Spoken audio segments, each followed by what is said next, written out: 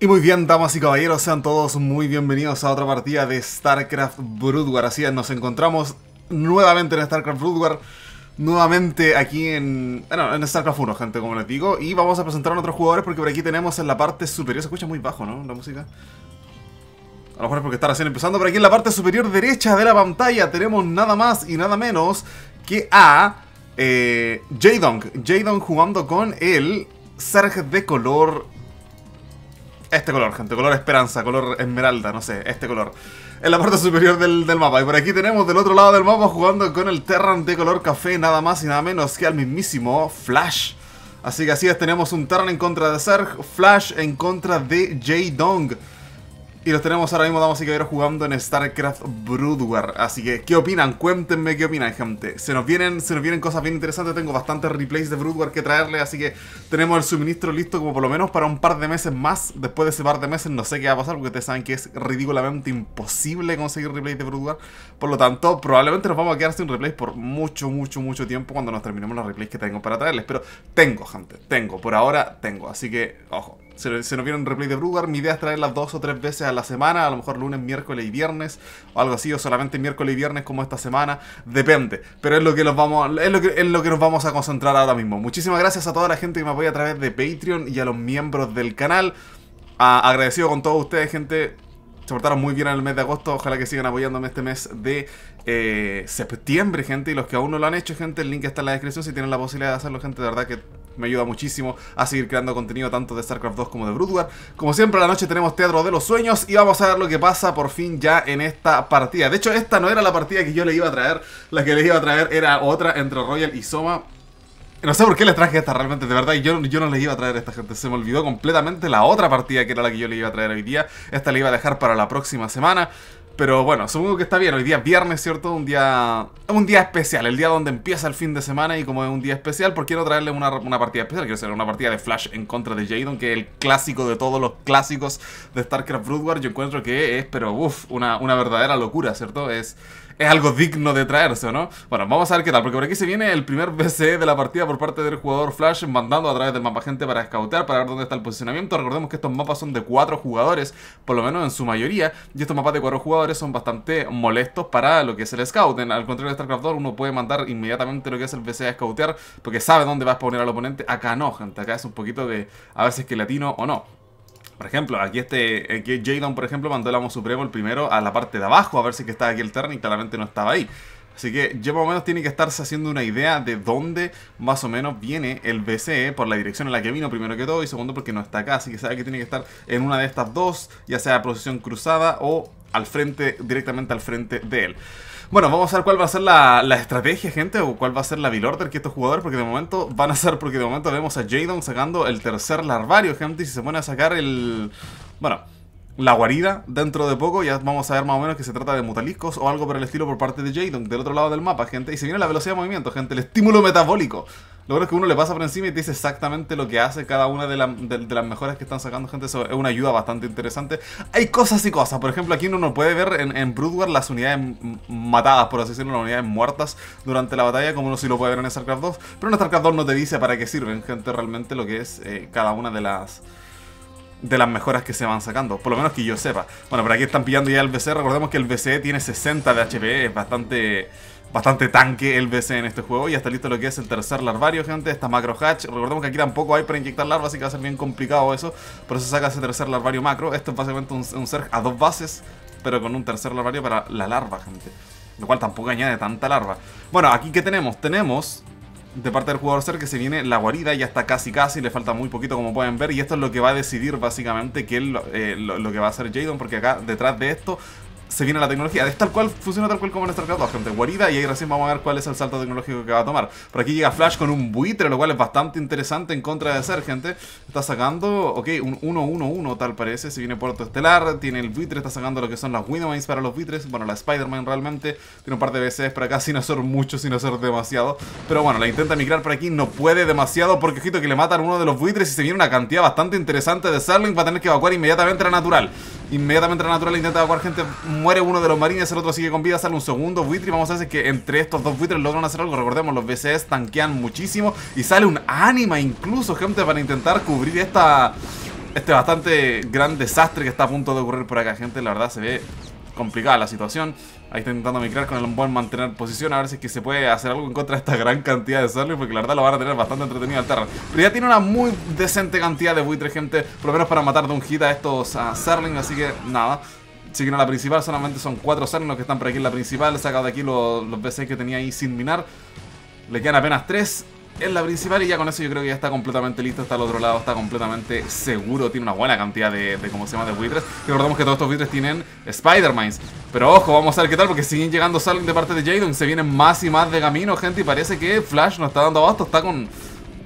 Está siendo muy presionado en estos momentos, gente, muy, muy, muy, muy, muy presionado. Doble buitre por parte del jugador Flash por aquí y el resto de los Salin simplemente se van ya ya tenía para, para, ¿cómo se llama? Para defenderse. Ahora, ojo que se viene el invisible para las ánimas. Y aquí hay un anima, gente, tiene una sola kill. Para un anima matar a un trabajador eh, son, son 5 hits, según tengo entendido. Gente pega 8 la ráfaga láser. Esto tiene 0 de armadura, así que le pega el daño prácticamente completo. Así que son 5 hits, gente. Lo cual es mucho, creo yo, gente. 5 hits para matar un trabajador. Eh, estamos hablando de demasiados hits, gente. Demasiado. Se viene por aquí un par de Scorch, un par de azotes para conectar en contra de las ánimas. Recordemos que el invisible sigue siendo bastante bueno, pero ojito con oh, la desviación y le acaba de conectar uno. Vamos a ver el segundo si es que le conecta o no. Podría colocarlo en los azotes aquí justo arriba del puerto estelar para estar constantemente snipeando lo que son las ánimas apenas salen, ¿cierto? Eso sería muy, muy, muy interesante. Tenemos por aquí el resto de los buitres. Recordemos que tienen Spider-Man los buitres, gente. Y no, he visto, no lo he visto colocar ninguna de momento en la partida, pero qué caso tiene si se viene en muta al final del día por parte del jugador Jadon. Vamos a ver qué hace en estos momentos para defender su Flash. Tiene tres de estas. Tiene el invisible. Sí, ya tiene el invisible, gente. Y con el invisible en una de esas puede hacer algo. O a lo mejor puede quitar de acá lo que es la... Uy, ojo, ojo, la detección, la detección es lo que tiene que hacer y ahí está, prende invisible inmediata, inmediatamente, gente. Eso fue una decisión, pero muy buena por parte del jugador Flash y muy rápida también, muy bien tomada. Muy bien ejecutada eso, gente. La decisión es súper obvia, gente, obviamente matar la detección para meterse en invisible, pero lo hizo tan rápido que evitó todo el daño a lo que son las ánimas, gente. Y eso está muy, pero que muy, muy, muy, muy bien. Ahora, vamos a ver qué es lo que pasa por la parte de arriba. Intenta colarse por aquí Jadon nuevamente con sus eh, mutaliscos, pero está lleno de torretas de misiles. Está muy bien defendido en este momento el jugador Flash y estas ánimas que igual pegan lo suyo, gente. Hay apenas 5... Perdón. Sí, 5 mutas, gente, en este... En esta pequeña Magic Box. Siguen otros dos más. Vamos a ver con quién nos va a responder en estos momentos el jugador Terran porque está sacando más y más ánimas, gente. De momento tiene 4, se viene la quinta de camino y las ánimas técnicamente no son tan buenas para matar mutaliscos como otras cosas lo serían.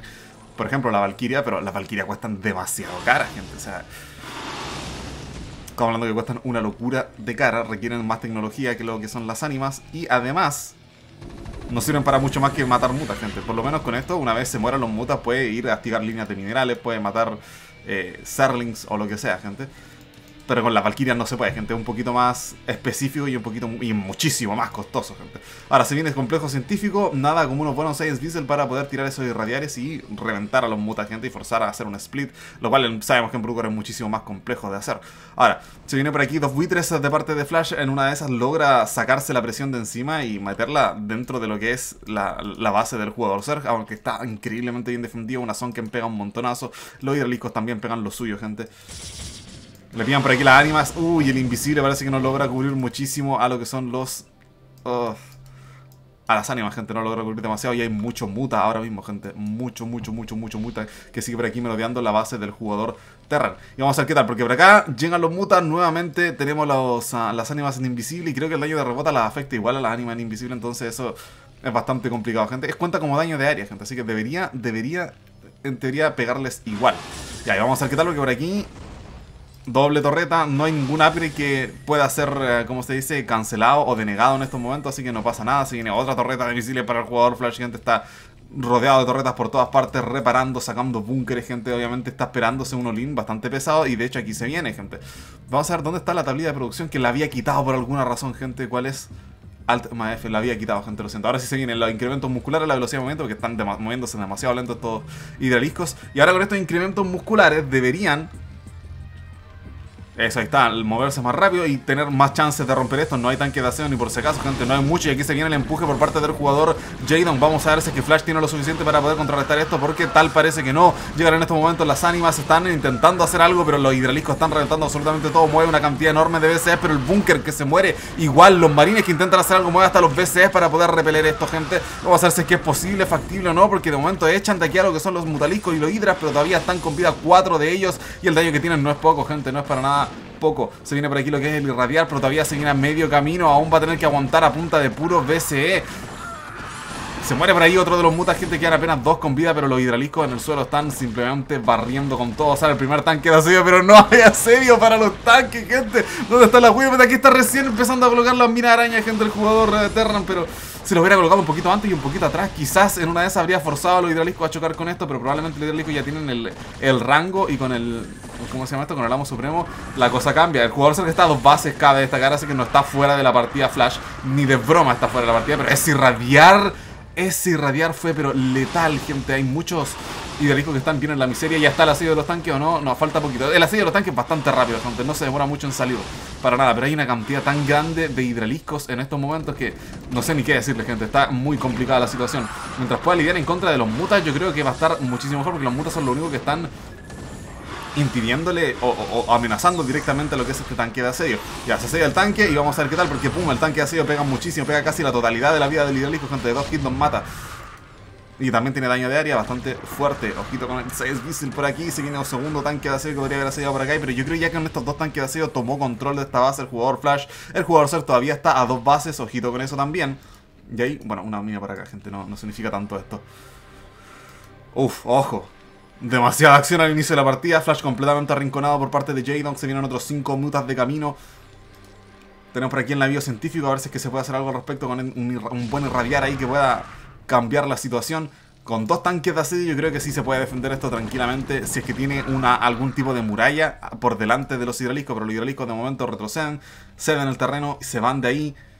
Hay unas cuantas más gente al final del día, a ver si es que alguna logra conectar en contra de esto, pero hay mucho muta también, que obviamente no conectan en contra de los mutaliscos. Se viene por aquí, ¿qué más? ¿Qué más? Otro Science Visual por parte del jugador Terran. Estos dos tanques así son los que están sosteniendo la mentira, pero completamente. Ahí los va a adelantar un poquito y a ver si es que logra retomar este centro de mando que está por aquí, gente. Esta base que está por aquí, esta base secundaria. Pero hay demasiado muta, gente, y el antiaéreo es lo que le falta en estos momentos al jugador Terran. Está tratando de sacarte a tres marines a la vez, pero quizás sigue siendo muy, muy, muy poco. Ahora, e, esta pequeña avanzadilla de los tanques de aseo es muy, muy, muy buena. Va a hacer que los hidraliscos, gente, no logren meterse. El irradiar, el irradiar, el irradiar encima de los mutas no se está dando cuenta Jadon. Y el split, la verdad es que le está saliendo bastante, bastante mal, gente. Que han visto solamente tres mutaliscos y es irradiar, pero le compró...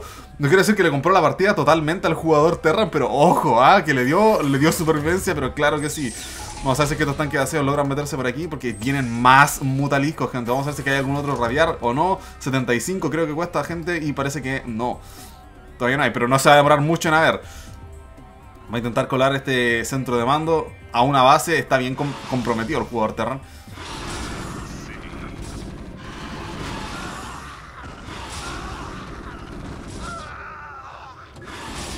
Ok, ahí está el irradiar. Vamos a ver el split como está, gente. Bastante mal el split, pero Uh, no me lo puedo creer, se unieron todos los mutas, todos los scores y ahora puede bajar, damas y caballeros, ahora claramente puede bajar ese radiar, fue pero lo mejor que le pudo haber pasado y acá tiene otro radiar, no, todavía le falta gente, todavía, todavía, todavía, le falta. Un par de scores se vienen para poder intentar eliminar lo que son los navíos científicos, lo que son lo que le están haciendo la vida a cuadritos en estos momentos a Jadon, pero Jadon ya tiene una tercera base, así que puede transicionar tranquilamente, un Terna dos bases, la verdad que no está mal tampoco, así que ojo, y también puede tomar una tercera en cualquier segundo, no es tan, no es tan complicada la situación en la que se encuentra Jadon, si viene un buitre por aquí, vamos a ver si es que lo pueden hacer algo. A estar a rango de los tanques de asedio.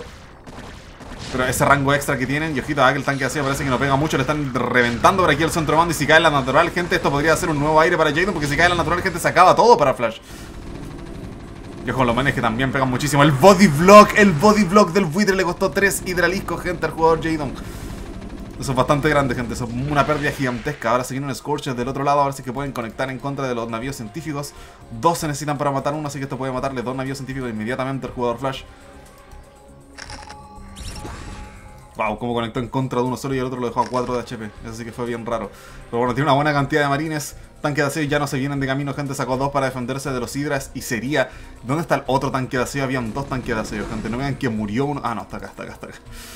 Ok, sale, sale Flash, gente, sale Flash, no me lo puedo ni creer. 58 de supply en contra de 56 y sale Flash. A través del mapa, con médicas. prácticamente sin energía. No sé si tendrá Steam desarrollado en este momento el jugador Flash, lo más probable es que no. ¿Tendrá el rango? No, tiene, tiene academia, gente, así que yo supongo que sí. Pero se está moviendo ya con todo el army, tiene doble tanque de AC. Vamos a ver si que se viene algún tipo de romba y medio cochinillo por ahí por parte del jugador Jadon por la espalda. Y logra caer esta base porque eso forzaría al jugador Flash a devolverse y eso sería muy, muy, muy, muy, muy incómodo. Vamos a ver cómo está el control de Flash también porque tiene que esquivar a lo que son los Scorch. Y pegan mucho los Scorch, gente. Ok, vale, caen un par de matrices de interferencia, perdón, de, defensa, matrices defensivas. Y por aquí se vienen un par de acechadores, los piña gente los acechadores. Y comen una buena cantidad de daño, cae un radial por aquí encima de un lurker. ¿O no? Encima de un hidralisco, gente, y ya mueren bastantes tropas de jugador ser, gente, y esto la verdad que está muy, muy, muy, muy, muy mal. El Terra logra matar prácticamente todo, y Jadon abandonado la partida, gente, no tiene nada que hacer. Y Flash termina ganando de una manera bastante, bastante, bastante epicarda, gente, resistiendo hasta el final, pero el ser sin tercera base, tal como en StarCraft 2, no es nada, gente, un ser sin tercera base. Por lo tanto, todos sabíamos que iba a ocurrir si Flash lograba defender. Así que nada, el poder de los tanques de AC, sobre todo del irradiar tan potente que es.